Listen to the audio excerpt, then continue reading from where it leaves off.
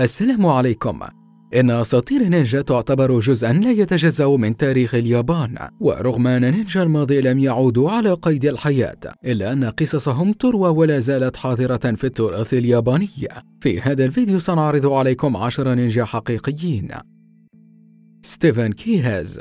بعد التخرج من الثانوية سافر هذا الأخير إلى اليابان ودرس فنون الدفاع عن النفس كما تتلمذ على يد ماساكي هاتسومو والذي كان معلما لفن نينجاتسو. حصل على عدة جوائز كمكافأة للإنجازات التي حققها. بعد ذلك عاد إلى الولايات المتحدة الأمريكية وأصبح محاربا نينجا من تلقاء نفسه. ثم كتب كتابا بعنوان The Ninja and Their Secret Fighting Art.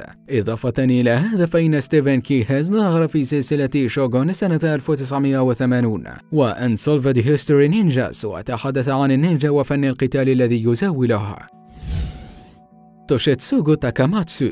إن هذا الأخير يعتبر آخر شينوبي وهو مصطلح يعني النينجا. كما ولد سنة 1972 وتوفي عام 1889 بعمر الثالثة وثمانين. جال هذا الأخير كثيرا حول آسيا كما سافر إلى اليابان حيث شارك في العديد من معارك الموت أو النجاة.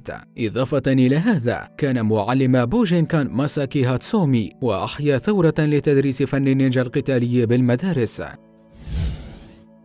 برايان جامبل إن المصارع المحترف برايان جامبل درس نينجاتسو لتسع سنوات متتالية ويعتبر خبيرا في فنون الدفاع عن النفس. إن خبرته فتحت له عدة فرص من قبيل لعبه دور محارب في فيلم Mortal Kombat فضلا عن ظهوره في حلقات برنامج American Gladiators كريستينا جاكوبسون.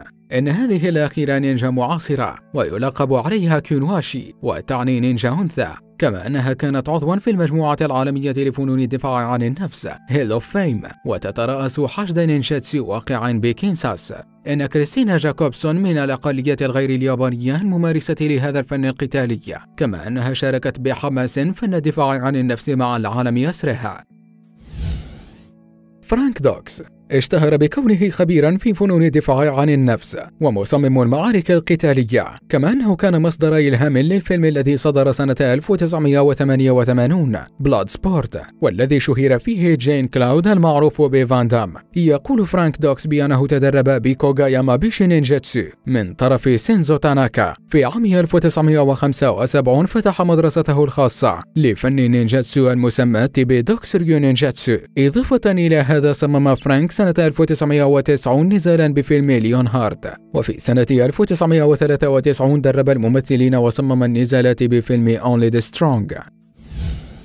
ماساكي هاتسومي. من المحتمل أن يكون قد سبق لكم سماع هذا الاسم. والآن قد حان الوقت لتتعرفوا عليه إن هذا الأخير ولد في الثاني من دجنبر من العام 1931 كما أنه يعد مؤسس منظمة بيجين كان ويلقب بالمعلم الأكبر. إضافة إلى هذا فقد قدم نصائح بالأفلام القتالية.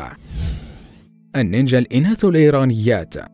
في سنة 1989 تم افتتاح نادي صغير للنينجاتسو بإيران واليوم يزيد عن 3500 امرأة هن أعضاء بهذا الأخير كما يتدربن ليصبحن نينجا. يستعمل بالنادي أثناء التدريب مجموعة من الأسلحة من قبيل السيوف إضافة إلى رياضات كالجمباز. وكل هذا بهدف تنمية فنون الدفاع عن النفس والمضي بها قدما. عندما دعا سيت النادي بمواقع التواصل الاجتماعي ذهب الناس إلى الاعتقاد بأن إيران أسست النادي لتصنع جيلا جديدا من النساء القاتلات ذات التوجه التطرفي غير أن الواقع أبعد من ذلك بكثير بحيث تقول النساء أن النادي يحاول لكل امرأة الحصول على توازن عقلي وجسدي. سوني شيبا. إن هذا الأخير ممثل وخبير في فنون الدفاع عن النفس وحائز على الحزام الأسود في فن نينجاتسو وفي سنة 1974 لعب دور تاكي ماتسوروغو في فيلم The Street Fighter كما لعب العديد من الأدوار عن فنون الدفاع عن النفس التي لا زالت تحظى بشعبية إلى يومنا هذا. سيكو فوجيتا. ولد سيكو سنة 1898 وتوفي عام 1966 في سن السابعة والستين ويعتبر آخر نينجا حقيقي. وخلال الحرب العالمية الثانية علم هذا الأخير التقنية والاستراتيجية بأكاديمية جيش ناكانو. إضافة إلى هذا فقد كتب سيكو العديد من الكتب المتعلقة بممارسات فن نينجاتسو ومبادئها. جينيشي كاواكامي هو رئيس بانكلان والتي تعتبر عشيرة نينجا سريين بدأ جينيشي بتعلم فن نينجاتسو في عمر السادسة من طرف رجل يدعى ماسادو إيشيدا يقول جينيشي أنه لن يقوم بتعيين قائد آخر يحل محله بعد اعتزاله لأن فن نينجاتسو لن يخول لك كسب لقمة عيش في أيامنا هذه كما لم يعد له مكان في وقتنا المعاصر إن جينيشي يعمل كمهندس ومدير متحف للنينجا فضلا عن كونه أستاذا بجامعة MIE متخصصا في دراسات النينجا شكرا على المشاهدة. إن عجبك الفيديو سجل إعجابك. ولا تبخل باقتراحاتك للفيديوهات القادمة. كما لا تنسى الاشتراك في القناة لتصلك فيديوهاتنا اليومية. تابعنا أيضا على حساباتنا في مواقع التواصل الاجتماعي. عبر الروابط أسفل الفيديو.